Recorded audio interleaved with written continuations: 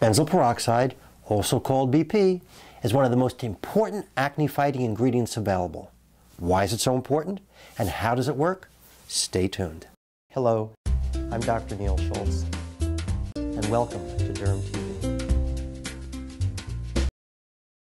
Benzoyl peroxide is so important that it's included in the World Health Organization's model lists of essential medicines which is a list of minimum medical needs for a basic healthcare system.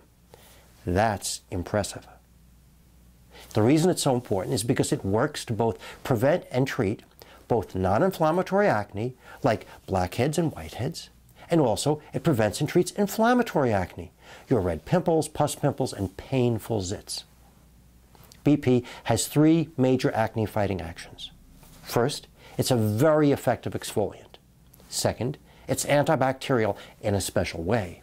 And third, it supplies oxygen to help healing. So first, as an exfoliant, it helps removing clogging dead cells that contribute to causing both blackheads and whiteheads. Also as an exfoliant, it helps dissolve those clogs of dead cells in oil after they form.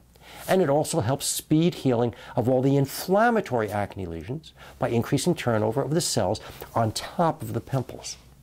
And while I believe that glycolic is the gold standard of chemical exfoliants and is very helpful for acne for the same reasons, BP has a great synergy with glycolic and can be used with it.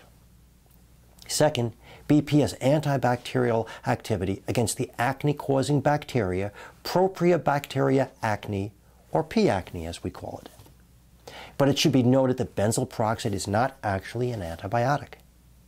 P. acne is an anaerobe, which means that it needs an oxygen-free environment to multiply and conduct its metabolic activity, which includes making the enzyme lipase, which is how it causes pus pimples, cysts, and painful inflammation in your skin. But the oxygen that benzoyl peroxide makes inhibits P. acne's ability to make the lipase that causes inflammatory acne lesions.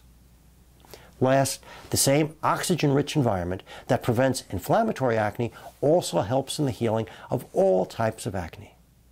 At concentrations of 2.5 to 10%, it's best used as a leave-on spot treatment to heal individual lesions. But in short contact uses, like a cleanser where it's not left on the skin, it's a great preventative treatment to help prevent all types of acne.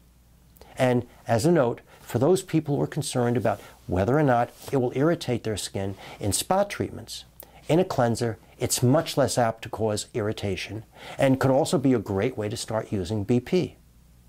Lastly, let me reassure you again that the FDA has determined and declared that benzoyl peroxide is safe.